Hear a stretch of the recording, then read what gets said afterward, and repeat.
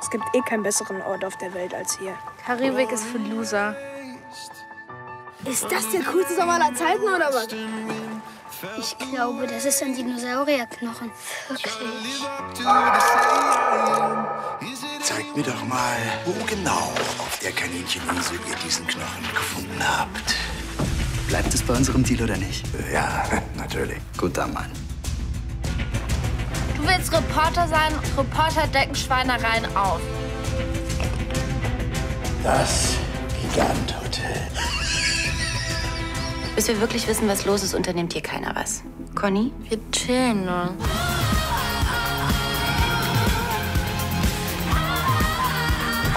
Wenn ihr auf der Insel einen Dinosaurierknochen gefunden habt, dann kann er nicht einfach gebaut werden. Das kann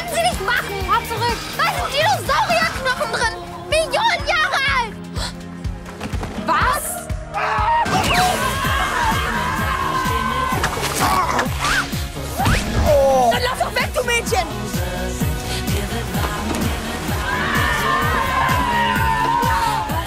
Hier fliegt nämlich gleich alles in die Luft.